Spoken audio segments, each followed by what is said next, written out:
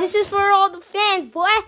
So we're about to play a one v one. Um, yeah, we're about to play a one v one.